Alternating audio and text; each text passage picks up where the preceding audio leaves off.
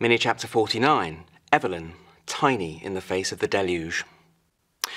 Jaymi's first response to seeing Bang Dead's new trivia score, wacky or boring, newsfeed, was to start creating Kim's code out of thin air, beginning with nothing but a fore-echo of this beast's thoughtful seriousness of mind.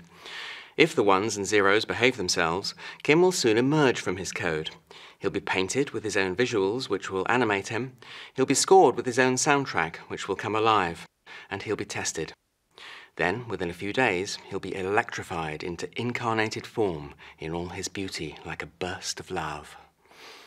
But despite this creation cycle of Kim, there is little clarity as to how the trivia score, wacky or boring newsfeed could possibly fail to barrel upwards and outwards in popularity and profitability around the world, at least for as long as tabloid culture outsells the rest. There can be no assurance of the success of any investment, but a media stream that facilitates the rating of trivia and factoids for entertainment value using Ain'tTheyFreaky's Freakometer from a highest score of 10 for wackiest down to a lowest score of 1 for boringest by members of the public does at least start out with the benefit of appealing to the resources of a decent majority. Incarnated into the world by themselves, Jaymi's bursts of Kim love would stand no chance against such competition. But with a little backup, perhaps they might survive after all. What on earth can he do, though, to give them any backup? Maybe nothing whatsoever, really, against such a gigantic streaming wall of trivial deadweight. No, he can do what he can, whatever that may be. He can send out something beautiful and rich in response to the tabloid deluge. Evelyn. A tiny thing in the face of a giant thing, yes, but it's worth a shot nonetheless, is it not? Contemplating his growing fellowship, he sees that his original urge to wreak some sort of simple vengeance by creating Amber has grown in refinement. It has morphed into a tougher, healthier, ongoing struggle, which is central to his creating and releasing beasts. First, in these expanding missions into meat space, and then in their permanent in game lives in future.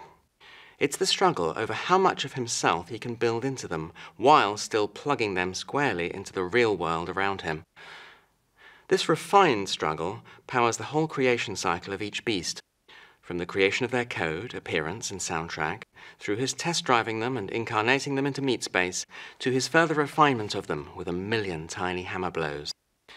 Throughout each beast's creation cycle, there is battle and change, negotiated beauty, flying sparks of metal on stone, and the smooth, wet glint of emerging eyes. Okay then, he will dispatch his beloved Evelyn, and through her himself, on a discreet mission into Ain'tTheyFreaky. What aspect of it could she access, though? He shuts his eyes in thought, scanning his memories of working for Dud. Then he murmurs, Westmont.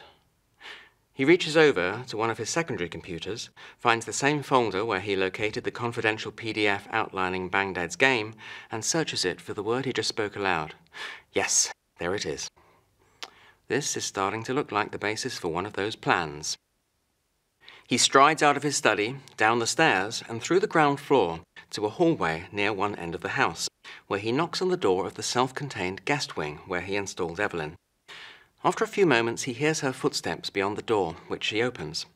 Hi, she says, licking a red lollipop and smiling sweetly at him. Can I help you? He clears his throat. Evelyn, yes, you can. Now you've had time to settle in, there's a mission I need to send you on. A mission? That sounds exhausting. I was hoping to take it easy today. She beckons him through the door, which opens into her kitchen. He advances a couple of steps inside. Yes, a mission. You've been incarnated so that I can send you out to do things, you know, not just so that you can lounge around here and eat. Thanks for reminding me I'm hungry, she yawns, crossing the kitchen to the refrigerator.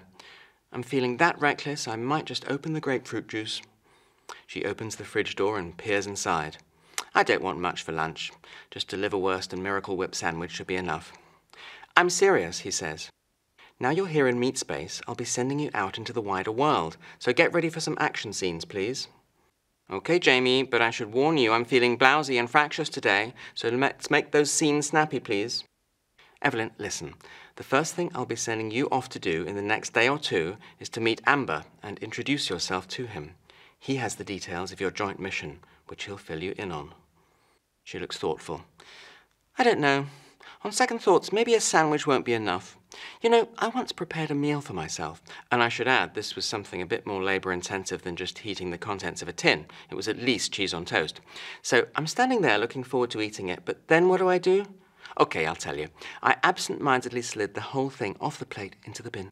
Oh, yes, I did. It was very simple. There was my carefully made meal down there in the bin, mewing with rejection at being thrown away for no reason whatsoever. It was doing more than mewing, in fact. It was weeping. But what could I do? I couldn't eat it now. Sigh. A modern tragedy. Right, says Jaymi, stepping back through the open doorway into the main house. Please listen. When mission time arrives, today or tomorrow, then I'm going to come back again to fetch you, and I'm going to need a little more focus and dynamism here, okay? Okay, see you soon. Keep in touch. And she closes the door on him. He stands there a moment with his mouth hanging open, resisting the urge to remonstrate through the door. Then he turns and steams back up the hallway, filled with a sudden and furious need to calm down